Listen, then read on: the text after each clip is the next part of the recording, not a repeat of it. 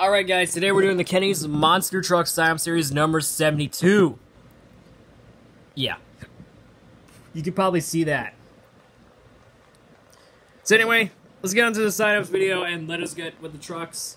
These are the trucks you choose. We get Earthshaker, Megalodon, Zombie, Gas Monkey Garage, Soldier Fortune Black Ops, Son of a Digger, Blue Thunder, Wildflower, Grave Digger, Wolf Files 20 Truck, El Toro Loco, Max D, Medusa, Dragon, Mohawk Warrior, and Ice Cream Man.